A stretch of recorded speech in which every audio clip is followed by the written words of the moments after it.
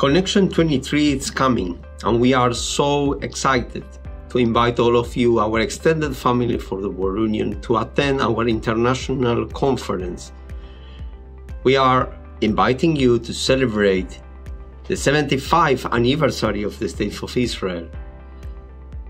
This year also will celebrate 50 years that our beloved Rabbi Dick Hirsch moved the headquarters of the World Union to Jerusalem. And now we are reopening Beit Shmuel Merkaz Shimshon again. And you are part of this opportunity to rejoice, to reunite, to renew.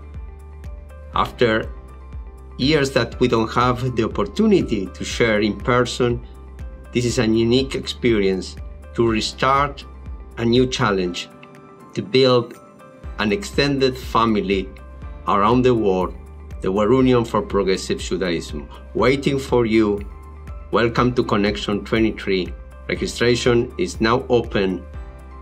Shana Ava, Yerushalayim.